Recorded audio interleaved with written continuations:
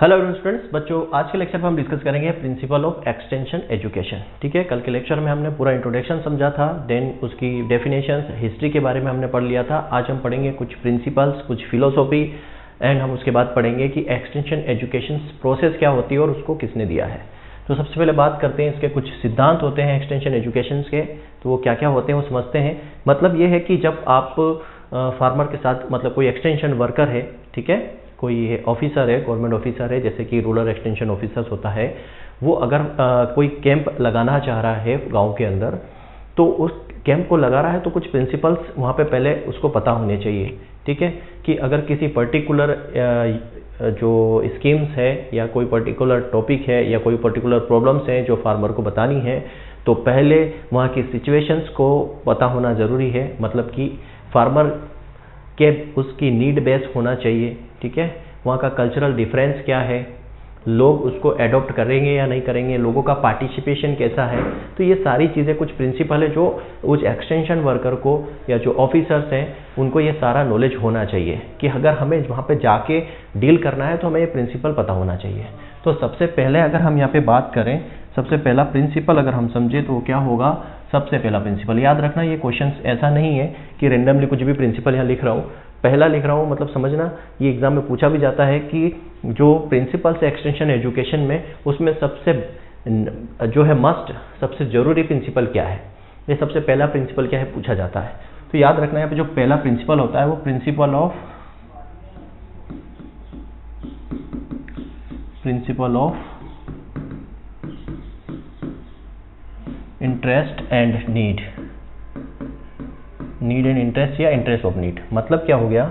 ये interest and need का principle ये पूछा भी जाता है कि जो सबसे बढ़िया, सबसे फ़र्स्ट प्रिंसिपल कौन सा है या सबसे ज़रूरी प्रिंसिपल कौन सा है तो यही है।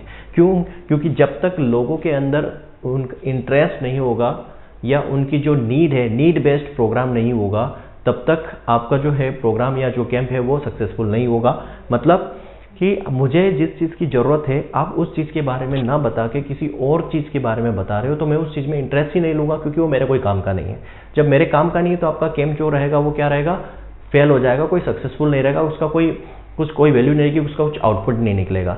ठीक है? जैसे मान लो अभी आपको पढ़ना एक्सटेंशन है, आप चाह रहे हो कि सर एक्सटेंशन पढ़ा दीजिए, अच्छे से पढ़ा दीजिए, हमारा बाकी सारा कंप्लीट है तो हमारा अच्छे से सिलेक्शन हो जाएगा। और मैं एक्सटेंशन छोड़ के आपको बोले, मैं एक्सटेंशन नहीं पढ़ाऊँगा, कुछ और सब्जेक्ट पढ़ाता हूँ।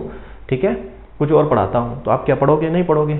दस बच्चे, उसमें सब भाग जाएँगे, एक आध कोई बचेगा नहीं तो वो भी भाग जाएगा। सर हमें ज़रूरत ही नहीं है, बाकी सारा हमने पढ़ लिया, बस एक्सटेंशन बस पढ़ना था आपसे, है ना? तो पहली चीज़ तो आपकी नीड क्या है? पहली चीज़ क्या है? आपकी नीड क्या है? मुझे पता होना चाहिए कि आपकी नीड क्या आपकी नीड है कि सर हमें जो एक्सटेंशन पढ़ना है। ठीक है? पहली नीड अब मुझे इस तरीके से पढ़ना है या मुझे, मैं इस तरीके से आपको पढ़ाऊँ कि आपको इंटरेस्ट भी आए कि हाँ सर मुझे पढ़ना है और मैं चाहता हूँ, मुझे इंटरेस्ट भी है कि मुझे पढ़ना है। क्यों? क्योंकि इंटरेस्ट नहीं लूँगा तो मेरा सिलेक्शन नहीं होगा। तो जो भी प्रोग्राम होता है एक्सटेंशन के अंदर, अगर आप लोगों के बीच में ले जाना चाह रहे हो या जो प्रोग्राम बनाना चाह रहे हो तो सबसे पहले जानो कि लोगों की प्रॉब्लम क्या है। उनको क्या चाहिए? लोग क्या चाहते हैं? भाई, हमारा जो आर्थिक जो स्थिति है, उसमें सुधार हो, है ना? हमारा जो है, क्या है लिविंग स्टैंडर्ड सुधरे, हमें ज़्यादा प्रोडक्शन मिले, हमारा जो है, समाज में क्या हो कि अच्छा स्टेटस बने, ठीक? यही चाहता है, एक आम आदमी भी, एक फार्मर भी। तो वो चीज़, वो नीड है, उसको कैसे हम बढ़ा सकते हैं, कैसे हम उसको पूरा कर सकते हैं, इस बेस पे हमारा क्या होना चाहिए? प्रोग्राम होना चाहिए एक्सटेंशन वर्कर का। और उसमें वो इंटरेस्ट ले, क्योंकि जब उनकी नीड होगी, उनको ज़रूरत होगी, तभी व्यक्ति इंटरेस्ट लेता है। समझना बात को। अगर मान लो, अभी आपको क्या है एक्सटेंशन पढ़ने की नीड है, आपको ज़रूरत है, सारा पढ़ लिया आपने, सिर्फ़ एक्सटेंशन पढ़ना है। तो अगर मैं यहाँ पढ़ा रहा हूँ तो आप इंटरेस्ट से पढ़ोगे। क्यों पढ़ोगे? क्योंकि नीड है। नहीं पढ़ोगे तो फेल हो जाओगे। तो जब नीड होती है तो इंटरेस्ट अपने ऑटोमेटिकली क्या होता है? क्रिएट होता है। तो पहला प्रिंसिपल आपको समझ में आ गया कि जो लोग होते हैं, जो पब्लिक होती है, जो फार्मर होते हैं, उनके आवश्यकता के अनुसार और उनकी इच्छा के अनुरूप होना चाहिए। क्या? प्रोग्राम ये पहला प्रिंसिपल बोलता है। ठीक है? दूसरा प्रिंसिपल क्या बोलता है? प्रिंसिपल ऑफ़ कल्चरल डिफरेंस दूसरा क्या है? Principle of cultural difference principle of cultural difference का क्या मतलब है? देखो, ये सब सारी चीज़ें प्रिंसिपल ये सारी चीज़ें क्यों पहले बताई जाती है या क्यों हम लोग पढ़ते हैं, पढ़ते इसीलिए हैं ताकि हम पहले जाके चीज़ों को समझें। आप सीधे गाँव में चले गए, है ना? चार, वहाँ आप गाँव में जाओगे या किसी भी एरिया में जाओगे तो वहाँ पे अलग अलग कल्चरल अलग अलग कम्युनिटी के लोग होते हैं, ठीक है? कहीं भी किसी भी एरिया में जाओगे तो सब जगह आपको एक जैसे लोग नहीं मिलते हैं। किस, कोई किस, किसी कल्चर को फॉलो करता है, कोई किसी कल्चर को फॉलो करता है, कोई किसी कम्युनिटी का है। सारे अलग अलग है। तो ये कल्चरल डिफरेंस को आपको देखना पड़ेगा और कल्चरल डिफरेंस के बेसिस पे आपको सारा प्रोग्राम सेट करना पड़ेगा। मतलब क्या है? मतलब यही है कि वहाँ पर जो है, आप जिस एरिया में गए हो, वहाँ पर लोगों का कल्चरल कल्चरल कैसा है? कल्चरल कैसा है? मतलब कि वो क्या चीज़ फॉलो करते हैं? उनका जो ट्रेडिशनली वो क्या जो है अपना शुरू, अपने दादा परदादों से चलाते हुए आ रहे हैं अपने कल्चर के अंदर, जो कि सही नहीं है, इसको बदलने की ज़रूरत है। इस तरीके की चीज़ें। कुछ लोग ये चीज़ फॉलो करते हैं, कुछ लोग कुछ और चीज़ों फॉलो करते हैं। तो ये सारी चीज़ें हमें पता होना चाहिए। मतलब जो एक्सटेंशन वर्कर है ना, उसके, उसको ये सारी चीज़ें पता होना चाहिए कि यहाँ पे इस तरीके की चीज़ें होती है। कुछ लोग ये चीज़ करते हैं, कुछ लोग ये चीज़ें करते हैं। इससे होता कि अगर आप पता नहीं करते हो, अगर आप वहाँ पर प्रोग्राम बताते हो तो जो उसके फेवर में जा रहा है मतलब पता चला कि हाँ हम वो उसकी जो कल्चरल है, उससे हमारा जो बातें मैच कर रही है। तो ये वाला जो कम्युनिटी है, ये वाले जो लोग हैं, वो क्या होते हैं? उसका अपोज करने लग जाते हैं। तो हमारा जो प्रोग्राम है इस तरीके से होना चाहिए, हमें पहले पता होना चाहिए कि लोगों का जो है कल्चर कैसा है। यहाँ पर इस गाँव के अंदर जो है लोग क्या क्या चीज़ें करते हैं, यहाँ पर क्या है जो पहले की जो ट्रेडिशनली ये लोग चलाते आ रहे हैं, वो भी पता होना चाहिए। तो कल्चरल डिफरेंस क्या है लोगों के बीच में? तीसरा आता है principle of participation principle of participation principle of participation का मतलब होता है सहभागिता। ठीक है? पार्टिसिपेशन का मतलब होता है सहभागिता। ठीक, अब ये है ना, वहाँ पर आप अगर कोई कैंप रख रहे हो, ठीक है? कोई प्रोग्राम कंडक्ट कर रहे हो तो वहाँ पे लोगों का पार्टिसिपेशन भी होना चाहिए। अब पार्टिसिपेशन के लिए क्या चाहिए? सीधी सी बात पार्टिसिपेशन के लिए पहला वाला प्रिंसिपल बहुत ज़रूरी है। क्या? लोग आपके प्रोग्राम में क्यों आएँगे? क्यों उसमें भागीदारी लेंगे? ठीक है? क्यों लेंगे? सबसे पहली चीज़ अगर वो प्रोग्राम उनके अनुरूप हो, उनकी नीड के बेसिस पे, उनकी आवश्यकता के अनुसार हो तो वो खुद ब खुद चले आएँगे। क्यों? क्योंकि हाँ यार, हमारे काम की चीज़ है, हमें इसके बारे में जानना चाहिए तो वो ऑटोमेटिकली क्या आएँगे, उसमें पार्टिसिपेशन करेंगे और इंटरेस्ट भी लेंगे। तो ये पार्टिसिपेशन वाला प्रिंसिपल है ना, वो फ़र्स्ट प्रिंसिपल पर बेस्ड होता है। क्यों? क्योंकि अगर आप जो प्रोग्राम कंडक्ट किया है, वो लोगों की नीड बेस्ड नहीं है, लोगों की आवश्यकता के अनुसार नहीं है तो वो पार्टिसिपेट करेंगे ही नहीं, वो आएँगे ही नहीं। ठीक है? अगर उनकी आवश्यकताओं के अनुरूप है तो वो ऑटोमेटिकली क्या होंगे, उस प्रोग्राम को, उस कैंप को ज्वाइन करेंगे। तो पार्टिसिपेशन वाला प्रिंसिपल है इंटरेस्ट एंड नीड पर बेस्ड होता है। फोर्थ नंबर पे आ जाओ। Grass root principle of organisation grass root principle of organisation अब grass root principle of organisation का क्या मतलब है? ठीक है। यहाँ पे जो आपका प्रोग्राम है या जो एक्सटेंशन वर्कर है, वो क्या होना चाहिए? ज़मीन से जुड़ा हुआ होना चाहिए, ऐसा बोलते हैं। देखो, चीज़ें समझते हैं, क्या होता है grass root principle of organisation का मतलब क्या है? कि हमें वहाँ पर इंडिविजुअली या फिर ज़मीनी सतह पर काम करना चाहिए। लोगों की प्रॉब्लम्स क्या है? किस चीज़ में उनको प्रॉब्लम्स आ रही हैं? सब चीज़ का एनालिसिस करना है, लोगों से बात करना है, ये चीज़ें अब देखो, अगर मान लो हम किसी से मिलते हैं, ठीक है? किसी अनजान व्यक्ति से भी मिलते हैं। लेकिन अगर हम उसके अकॉर्डिंग बात करते हैं, उसी की जो भाषा है, जो लोकल लैंग्वेज है, अगर हम भी उसी की लैंग्वेज में बात करते हैं तो वो हमसे कनेक्ट होता है। ठीक है? वो हमसे क्या होगा? कनेक्ट होगा। उसकी प्रॉब्लम जानने की कोशिश करते हैं, उसके साथ बातें करते हैं तो वो हमें क्या पता चलता है उससे? उसके बारे में पता चलता है, और उसे भी क्या लगता है कि हाँ ये हमारे, हमसे बात कर रहा है, हमारी तरह ही बात करता है, अपनी ही लैंग्वेज में बात करता है लोकल लैंग्वेज में बात करता है अच्छे हैं। तो फिर वो हमसे कनेक्ट होता है कनेक्ट होता है जब हम उसको बुलाते हैं, वो आता है। देन इस तरीके से प्रोग्राम में इन्वॉल्व होता है, हम उसको इजीली तरीके से क्या कर पाते हैं, समझा पाते हैं। तो grass root principle of organisation का मतलब ये है कि जो ऑर्गेनाइजेशन है, वो बिल्कुल क्या होना चाहिए, निचली सतह पर, ज़मीन सतह पर काम करना चाहिए। कोई भी एक्सटेंशन वर्कर है, वो बिल्कुल ग्रास रूट लेवल पर काम करे। ग्रास रूट लेवल पर मतलब लोगों से मिले, उनसे बात करें, उनकी प्रॉब्लम्स को समझे, ये सारी चीज़ें। ऐसा नहीं कि कैंप लगाया, वहाँ पे भाषण दिया और चल के वापस आ गए। आराम से वहाँ पर बैठो, लोगों से मिलो, उनसे बातचीत करो इंडिविजुअली भी कॉन्टेक्ट रखो। उससे क्या होता है ना कि लोग जो है उस चीज़ में इंटरेस्ट लेते हैं, वो समझते हैं कि हाँ ये जो ऑफिसर है या ये जो साहब हैं, ये आते हैं, हमसे बातें करते हैं, हमारी ही भाषा में बात करते हैं, हमें अच्छा लगता है। तो इससे क्या होता है म्यूचुअल अंडरस्टैंडिंग बढ़ती है और वहाँ चीज़ों को समझाना ईजी हो जाता है फार्मर को या किसी भी अगर हम लेवल पे काम कर रहे हैं लोगों को समझाने के लिए। ठीक है, ये ग्रास रूट लेवल पे आपने देखा होगा ना राजनीति में नेता लोग जो है, इसका बड़ा आपने बात सुनी होगी न्यूज़ वगैरह में कि ग्रास रूट लेवल पर काम चल रहा है ग्रास लेवल पर काम चल रहा है मतलब ज़मीनी लेवल पर काम चल रहा है है ना? अभी जैसे चल रही है राहुल गांधी जी की भारत जोड़ो यात्रा तो भारत जोड़ो यात्रा कहाँ चल रही है? बिल्कुल निचले लेवल पर, जमीनी सतह पर काम चल रहा है उनका, लोगों से मिल रहे हैं, है ना? सभी जगह, हर एक राज्य में हर जगह जगह जाकर लोगों से कांटेक्ट कर रहे हैं। इससे कुछ तो उनका क्या होगा इंप्रूवमेंट होगा। थोड़ा सा भी अगर ग्राफ उनका इंक्रीज होता है तो होगा, क्योंकि पर्सनली जाके मिलने की बात अलग होती है। तो ग्रास रूट लेवल पर काम करना चाहिए। कोई भी ऑर्गेनाइजेशन हुआ उसको। तो ये ग्रास रूट प्रिंसिपल हो गया। नेक्स्ट हम बात करते हैं whole family principle whole family principle principle of whole family बोलो या होल फैमिली प्रिंसिपल अब देखो होल फैमिली प्रिंसिपल का मतलब क्या हो गया? ये बेस्ट एग्जांपल मैं आपको समझाऊँगा इसमें। होल फैमिली प्रिंसिपल का ये मतलब है कि आप जो भी प्रोग्राम कंडक्ट कर रहे हो, है ना? एक्सटेंशन के थ्रू जो भी प्रोग्राम ऑफिसर कंडक्ट करता है, उसमें सिर्फ़ फार्मर ही इन्वॉल्व नहीं होना चाहिए, उसकी पूरी फैमिली इन्वॉल्व होना चाहिए। उसकी वाइफ भी, उसके बच्चे भी सब इन्वॉल्व होना चाहिए। क्यों? उसका उसका प्रभाव क्या पड़ेगा? ठीक है? उसका प्रभाव क्या पड़ेगा? जैसे मैं आपको बताता हूँ नेटवर्क मार्केटिंग नेटवर्क मार्केटिंग में क्या होता है? ये आप। हो ठीक है? ये आप। हो ये बंदा अगर आपसे आके मिलेगा, आपसे बोलेगा कि यार यहाँ पे आपको क्या करना है, इससे जुड़ना है, यहाँ पे आप एक बंदे को, दो बंदे को जोड़ोगे तो आपको यहाँ पे पाँच सौ मिलेंगे। ये आगे और दो को जोड़ेंगे तो यहाँ पे फिर आपको पाँच सौ मिलेंगे। ये आगे दो को जोड़ेंगे, फिर पाँच सौ मिलेंगे। तो आप बोलोगे, यार मेरे को ये प्रोग्राम नहीं करना, मैं किसी को लुटना नहीं चाहता, या जो भी आप मना कर दोगे। तो ये नेटवर्क मार्किंग की खासियत क्या होती है? ये जब भी क्या करते हैं मीटिंग रखते हैं तो ये अकेले सिर्फ़ उस व्यक्ति के साथ नहीं रखते हैं। वो बोलते हैं कि पूरी फैमिली को लाओ ये आपकी पत्नी को भी ले आएँगे साथ में, बच्चों को भी बिठाएँगे साथ में। इससे क्या होगा कि जब ये आपको पूरा प्लान समझाते हैं कि भैया इससे आप इसको जोड़ दोगे तो यहाँ 500 मिल जाएगा, इससे जोड़ दोगे तो यहाँ 500 मिल जाएगा तो इनके मन में क्या है? लालच दिखा आता है। बच्चों के मन में भी लगेगा हाँ यार, पैसा आ रहा है। ऐसा ऐसा काम करेंगे तो पैसा आएगा। तो वाइफ क्या करेगी?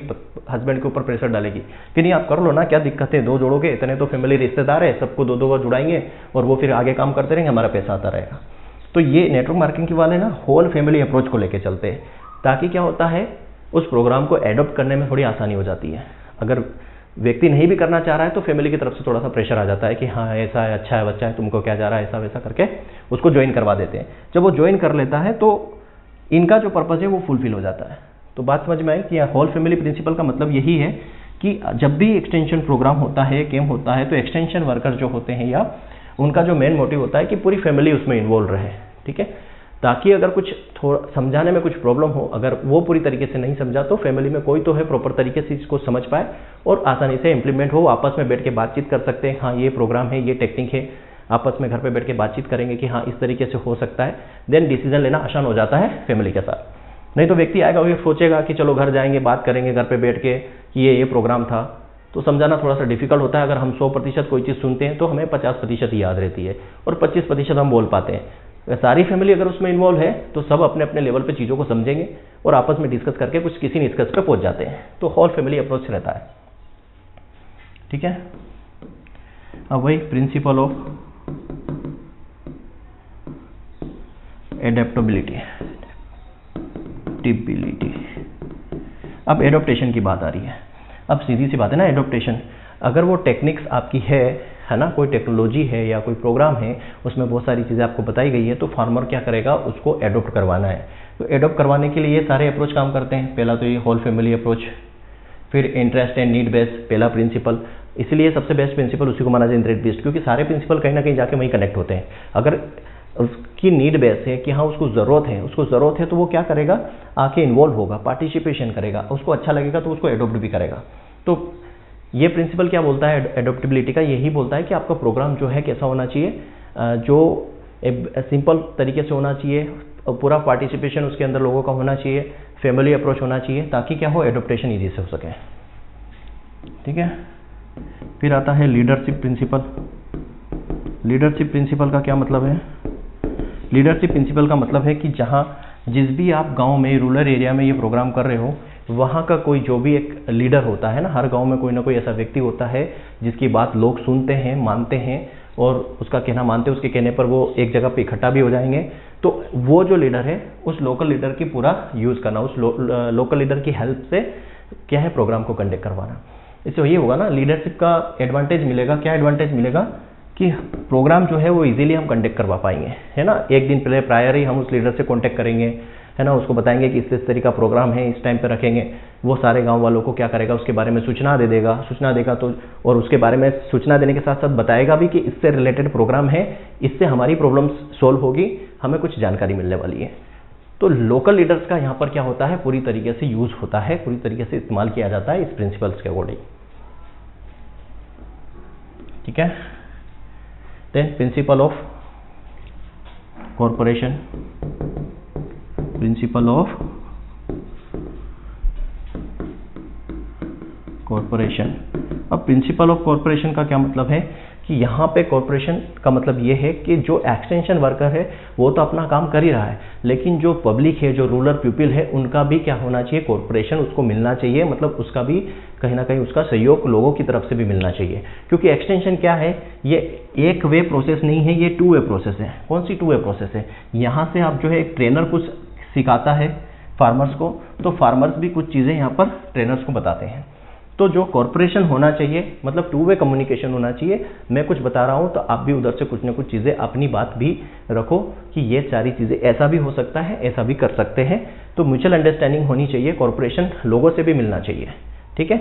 अगर मान लो कोई स्कीम आपके लिए लाई गई है तो उसमें लोगों का कॉरपोरेशन लोगों का सहयोग भी होना ज़रूरी, सहयोग नहीं होगा तो वो स्कीम कैसे काम करेगी?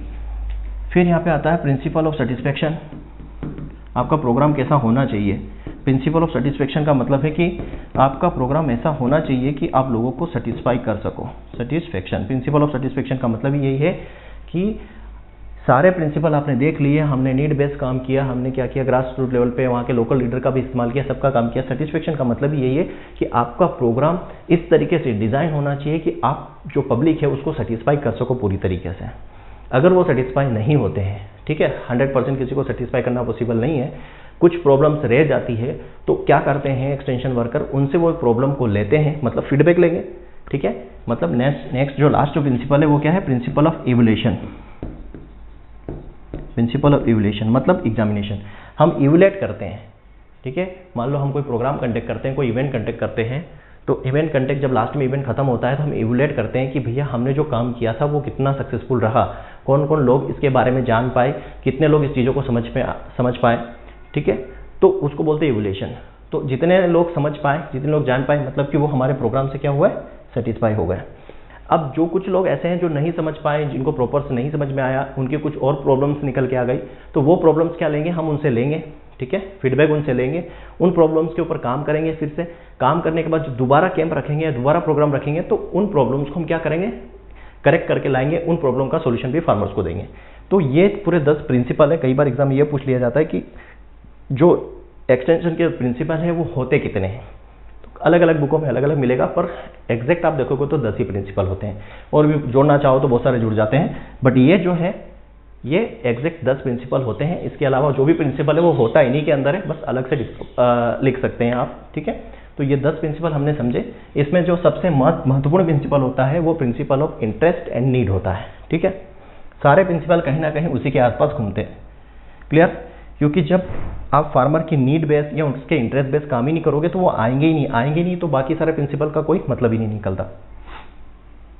ठीक है? अब हम बात करेंगे यहाँ पे philosophy of extension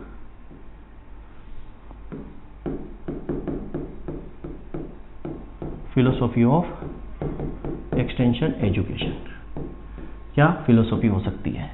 तो एक्सटेंशन का काम क्या है? जैसे एक्सटेंशन का काम ये है कि एक बार आपको कोई चीज़ के बारे में समझा दिया गया है, जैसे कि मैं आपको यहाँ पे एक्सटेंशन अभी पढ़ा चुका हूँ या कोई भी सब्जेक्ट पढ़ा चुका हूँ, उसके बाद क्या होगा? आपकी खुद की रिस्पॉन्सिबिलिटी हो जाती है कि आपको उसको अच्छे से पढ़ना है और एग्ज़ाम क्लियर करना है। मतलब क्या होता है? एक्सटेंशन ये बोलता है सेल्फ हेल्प फिलोसफी पे काम करता है। ठीक है सेल्फ हेल्प मतलब आपकी हेल्प आपको खुद को करनी है। मतलब कि मैंने तो पढ़ा दिया, है ना? मैं तो एग्ज़ाम देके आपको पास नहीं करवाऊँगा। मेरा काम है आपको पढ़ाना। तो मैंने आपको पढ़ा दिया। पढ़ाने में हमारी कोई कमी नहीं है। अब आपको खुद से पढ़ना है, अच्छे से क्या करना है, तैयारी करना है और एग्ज़ाम निकालना है। तो ये एक्सटेंशन की फिलोसफी यही बोलती है कि आपकी मदद आपको खुद को करना है। ठीक? हमारा काम है टेक्नोलॉजी के बारे में बताना, समझाना डेमोन्स्ट्रेशन करके भी बता देना। लेकिन उसको एडॉप्ट करके सक्सेसफुल होना आपका काम है। दूसरा आता है democratic nature democratic nature extension की फिलोसॉफी क्या बोलती है? कि एक्सटेंशन की फिलोसफी ये बोलती है कि यहाँ पर जो होता है, अपने इंडिया के अंदर भी देखो डेमोक्रेटिक नेचर होता है। डेमोक्रेटिक का नेचर का मतलब क्या होता है? जो मैंने सेल्फ हेल्प बोला है तो क्या होता है? By the people by the by the pupil. Of the pupil, for the pupil. Of the people and for the people ये फिलोसफी पे काम होता है। मतलब लोगों के द्वारा लोगों का और लोगों के लिए काम करना डेट इज़ डेमोक्रेटिक नेचर हमारा जो कंट्री है वो इसी बेस पे काम करता है ना डेमोक्रेटिक नेचर लोगों के द्वारा लोगों का और लोगों के लिए मतलब भाई हमारी मदद या जैसे कि वही बोलता है ना लोगों के द्वारा मतलब जो आप आप कीजिए लोगों के द्वारा, लोगों का और लोगों के लिए मतलब भला करना है तो लोगों के द्वारा, लोगों का, लोगों के लिए। तो ये डेमोक्रेटिक नेचर जो है, ये फिलोसफी एक्सटेंशन की जो बोलती है कि लोगों के द्वारा, लोगों का और लोगों के लिए काम करना चाहिए, ठीक है? मतलब भलाई का काम करना चाहिए, हालाँकि जमाना नहीं है है ना? लोग बोलते हैं कि भलाई का जमाना नहीं है, तैयार करके दुख लेना। सेल्फ हेल्प डेमोक्रेटिक नेचर फिर जो आपका प्रोग्राम है, जो भी आपका प्रोग्राम है एक्सटेंशन प्रोग्राम है, वो क्या होना चाहिए? Based on creating, based on creating interest by seeing and doing, by seeing and doing. मतलब देख कर कर कर इंटरेस्ट क्रिएट करके ये प्रोग्राम आपका उस बेस होना चाहिए। बेस मतलब कि आपका प्रोग्राम कैसा होना चाहिए कि देख कर और कर कर इंटरेस्ट लेकर वो काम कर सके। ऐसा आपका प्रोग्राम होना चाहिए। फिर क्या होता है, ये नेवर एंडिंग प्रोसेस है। नेवर एंडिंग प्रोसेस है। एक्सटेंशन एजुकेशन क्या है? ये एक नेवर एंडिंग प्रोसेस है। कभी भी ख़त्म नहीं होती। एजुकेशन की बात करो या एक्सटेंशन एजुकेशन की बात करो, हम सीखते हैं, सिखाते हैं, सीखते हैं, सिखाते पूरे जीवन पर्यंत चलता रहता है। ठीक है? और इस फिलोसॉफी में आप क्या बात करोगे? पार्टिसिपेशन जो होता है इसमें पार्टिसिपेशन जो होता है वो वॉलेंटरी होता है। मतलब ऐच्छिक पार्टिसिपेशन होता है, कोई ज़ोर ज़बरदस्ती नहीं होती है। अगर आप कोई प्रोग्राम कंडक्ट कर रहे हो तो लोगों की इच्छा है, अगर उनको आना चाहे तो वो आ सकते हैं, ना आना चाहे तो ना आ सकते हैं, जा भी सकते हैं, ठीक है? वॉलेंटरी क्या होता है? पार्टिसिपेशन होता है। ऐच्छिक सहभागिता इसके अंदर होती है। ठीक? और क्या होता है?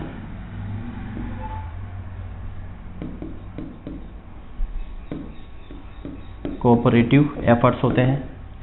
कोऑपरेटिव एफर्ट्स होते हैं मतलब सब कुछ जो है काम यहाँ पर मिलजुल कर किया जाता है कोऑपरेटिव एफर्ट्स यहाँ पर लगाए जाते हैं। क्लियर है? कोऑपरेटिव एफर्ट्स यहाँ पर लगाए जाते हैं। तो ये कुछ फिलोसॉफी है एक्सटेंशन की, जहाँ से क्वेश्चन तो नहीं बनते बट फिर भी पता होना चाहिए किस किस फिलोसॉफी पे जो है एक्सटेंशन यहाँ पर काम करता है। नेक्स्ट हम बात करेंगे यहाँ पे जो मोस्ट इंपॉर्टेंट है, वो है क्या? Extension education process extension education process ठीक है, सबसे पहली चीज़ बात आती है एक्सटेंशन एजुकेशन प्रोसेस को दिया किसने? बाई याद रखना, जॉन पाल लिगन्स। ठीक है, जेपी लिगन्स आप जो क्या है? Father of extension father of extension education है। वर्ल्ड के इंडिया की बात करें तो के के सिंह केदारनाथ सिंह है। और यूनिवर्सिटी एक्सटेंशन के फादर कौन है? जेम्स स्टाउट ठीक, कब? 1967 में इन्होंने ये क्या दी थी? एक्सटेंशन एजुकेशन प्रोसेस के बारे में बताया था। अब ये प्रोसेस मोस्ट इंपॉर्टेंट है, यहाँ से क्वेश्चन ज़रूर बनते हैं। देखो ये प्रोसेस क्या बोलती है। प्रोसेस बोलती है सबसे पहले मतलब क्या है? देखो पहले समझ लो कि अगर आप मान लो गाँव में कोई प्रोग्राम चले गए और आपने बोला कि हाँ आज में हम यहाँ एक प्रोग्राम करने वाले हैं और वो प्रोग्राम जो रहेगा सोयाबीन के ऊपर रहेगा या किसी भी क्रॉप के ऊपर रहेगा। ठीक है? तो क्या होगा? आप पता चला कि आप जो प्रोग्राम वहाँ करने वाले हो जो फार्मर्स को बताने वाले थे वो वहाँ जहाँ आप गए ना वो फार्मर पहले से जानते उसके बारे में। ठीक है? जो प्रोग्राम आप लेके गए हो उस गाँव में, जो भी प्रोग्राम आपने वहाँ पे किया है, उस प्रोग्राम के बारे में गाँव वाले पहले से जानते हैं। तो इसके लिए आपको क्या करना चाहिए? जेपी लिगेंस ने बताया कि सबसे पहले आप क्या करो, कोई भी प्रोग्राम बनाने से पहले उस गाँव में जाओ, उस एरिया में जाओ और क्या करो, पहले वहाँ की सिचुएशन को एनालाइज करो। देखो कि लोगों की किस चीज़ की ज़रूरत है, उनकी प्रॉब्लम क्या है। सबसे पहले उस चीज़ का एनालाइज आपको करना पड़ेगा। क्या? कि लोगों की प्रॉब्लम क्या है? किस चीज़ को वो अडॉप्ट नहीं कर पा रहे हैं? क्या क्या उनको प्रॉब्लम्स आ रही है खेती बाड़ी में किसी भी चीज़ को लेके? तो सबसे पहली चीज़ आती है कि सिचुएशन को एनालाइज करना है। क्या? सिचुएशन एनालिसिस तो सबसे पहला पॉइंट तो यही है कि एक्सटेंशन एजुकेशन प्रोसेस के अंदर कि आप कोई भी प्रोग्राम बनाने से पहले उस जिस जिस एरिया में आप ये कैंप या प्रोग्राम कंडक्ट करने वाले हो, वहाँ की सिचुएशन को पहले एनालाइज कर लो कि जो हमारा प्रोग्राम हम बना रहे, क्या उसकी नीड फार्मर को है? नहीं है तो ज़रूरत ही नहीं है।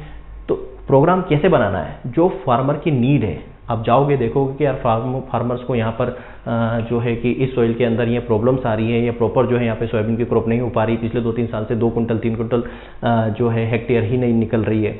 तो उस प्रॉब्लम को आइडेंटिफाई करके लाओगे, क्योंकि लोगों को ज़रूरत भी है। हाँ कुछ हमें कुछ ऐसा सुधार मिल जाए ताकि हमारा प्रोडक्शन बढ़ जाए। तो इस तरीके से वहाँ पर पहले सिचुएशन को एनालाइज करना ये पहला पॉइंट है किसका? एक्सटेंशन एजुकेशन प्रोसेस का। ठीक है? और यहाँ पर जो है, कौन सा प्रिंसिपल काम करता है? तो principle of adaptability principle of adaptability काम करता है। और हम यहाँ पे सिचुएशन कौन कौन सी एनालाइज करते हैं? उनकी सोशल प्रॉब्लम क्या है? उनकी कल्चरल प्रॉब्लम क्या है? उनकी इकोनॉमिक प्रॉब्लम क्या है? ये सारी प्रॉब्लम को हम एनालाइज करते हैं और वो जो प्रॉब्लम हम लेके वापस आएँगे। ठीक है? मतलब क्या है? मैं एक एक्सटेंशन वर्कर हूँ, मैं पहले गाँव में गया, मैं लोगों से मिला, मैंने जाना कि लोगों की प्रॉब्लम क्या है सोशली उनकी प्रॉब्लम क्या है कल्चरल प्रॉब्लम क्या है इकोनॉमिक प्रॉब्लम क्या है फ़ार्मिंग से रिलेटेड प्रॉब्लम क्या है। मैंने उन्हीं सारी प्रॉब्लम सुन के, उनकी प्रॉब्लम को लेके वापस अपने कहाँ आ गया? अपने ऑफ़िस आ गया, ठीक है? अब मैं क्या करूँगा, इनकी प्रॉब्लम को सुन के मैं यहाँ पर क्या करूँगा, उन प्रॉब्लम के अकॉर्डिंग जो है ऑब्जेक्टिव्स डिसाइड करूँगा। क्या? ऑब्जेक्टिव्स एंड सॉल्यूशन मैं क्या करूँगा, उन प्रॉब्लम के पहले तो डिसाइड करूँगा कि इन प्रॉब्लम को कैसे सोल्व किया जा सकता है। उनके कुछ ऑब्जेक्टिव कुछ उद्देश्य बनाऊँगा। ठीक है? कि फार्मर की ये वाली प्रॉब्लम है तो इसके लिए हम ये कर सकते हैं ताकि इनकी प्रॉब्लम सोल्व हो जाए। हम जो है सोयल सोल्यूशन मतलब सोल्यूशन उसको देंगे। तो सोल्यूशन के लिए पहले आपको ऑब्जेक्टिव्स डिसाइड करने पड़ेंगे। ऑब्जेक्टिव्स का मतलब है, मान लो कि हम गाँव में गए और वहाँ पर क्या है? मान लो पानी की समस्या है। है ना? लोगों को बहुत ज़रूरत है, पानी नहीं है, खेती बाड़ी कैसे करें? तो आप क्या करोगे, उसके पहले ऑब्जेक्टिव्स बनाओगे। मेन क्या रहेगा कि यहाँ पर जो है, इस इस पर्टिकुलर एरिया में जो है वाटर की जो है काफ़ी स्कारसिटी है, बहुत कमी है प्रॉपर फ़ार्मिंग नहीं हो पाती एवन जो है ड्रिंकिंग वाटर की भी फैसिलिटीज़ नहीं है। तो ये ऑब्जेक्टिव्स आप बनाओगे, फिर इसका सोल्यूशन देखोगे कि इसका सोल्यूशन कैसे कर सकते हैं। हम पाइपलाइन बिछा सकते हैं, नहर के थ्रू दे सकते हैं। तो ये आपका क्या होगा, ये आप उसमें सॉल्यूशंस यहाँ पे मेंशन करोगे।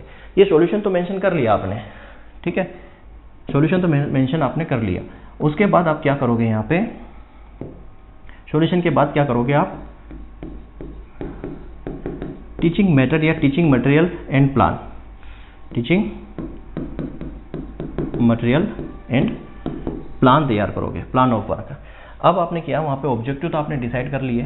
आपने उसका सोल्यूशन भी देख लिया कि हम इस तरीके से इसको सोल्व कर सकते हैं, या फार्मर जो है, हम फार्मर को इस इसके बारे में पूरा बता सकते हैं कि आप इस किस तरीके से इस प्रॉब्लम को सोल्व कर सकते हैं। क्लियर है? तो यहाँ पे फिर उसका आपने क्या किया? एक टीचिंग मटेरियल तैयार किया, एक प्लान तैयार किया। बोल सकते हैं आपने यहाँ पे डिसीज़न लिया। ठीक है? एक डिसीज़न लिया। उस डिसीज़न के बेसिस पे आपने एक टीचिंग मेथड तैयार की कि भाई फार्मर को बताना कैसे है उनको समझाना कैसे है कि आप क्या कर सकते हो ताकि आपकी ये जो प्रॉब्लम है ड्रिंकिंग वाटर की या इरीगेशन वाटर की प्रॉब्लम है सोल्व हो सकती है। तो आपने पूरा यहाँ पे पहले सिचुएशन एनालाइज की कि भाई ड्रिंकिंग वाटर की और इरीगेशन वाटर की प्रॉब्लम है। आपने यहाँ पे क्या ऑब्जेक्टिव है उसका सॉल्यूशन देख लिया कि इसका ऑब्जेक्ट मतलब इसका उद्देश्य ये निकल के आता है कि हम क्या करें यहाँ पे ताकि इनकी प्रॉब्लम दूर हो जाए। फिर आपने उसका सॉल्यूशन निकाला क्या कि भैया हम यहाँ पे तालाब खोद सकते हैं। तालाब से क्या करेंगे? इसको कनेक्ट कर देंगे किसी नदी से। यहाँ पानी आ जाएगा। फिर इसको फ़िल्टर करके आप ड्रिंकिंग में और इरीगेशन में यूज़ कर सकते हैं। ये आपने सोल्यूशन तैयार कर लिया।